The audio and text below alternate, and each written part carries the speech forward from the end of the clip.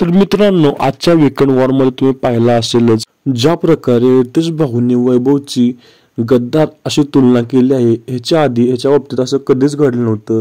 तर होल लाईफमध्ये वैभवला नक्कीच पश्चाताप झाला असेल हे आपण असं नको करायला पाहिजे होतं कारण त्याने फक्त तिचा विचार केला नाही तर त्याने फक्त आणि फक्त अरबाजचा विचार करून अशा प्रकारचे डिसिजन घेतले होते. ते की अगदी चुकीचे होते. त्यामुळे पूर्ण महाराष्ट्रामधून त्याच्याबद्दल अतिशय निगेटिव्ह प्रतिक्रिया पसरली जात आहे. त्याचप्रकारे घनश्यामशी बोलतानाचा एक व्हिडिओ त्यांनी अपलोड केला आहे त्यांच्या इंस्टाग्राम पेजवरती त्याच्यामध्ये सुद्धा घनश्याम स्वतःला एक्सप्लेन करण्याचा प्रयत्न करत आहे. तिथे सुद्धा वैभव त्याचं काही ऐकून घेत नाही. ही स्ट्रॅटजी वैभवची खेळण्याची ही आधी नव्हती.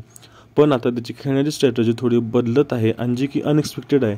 पण याचा त्याच्या फॅन फॉलोईंगवरती काही परिणाम होणार नाही.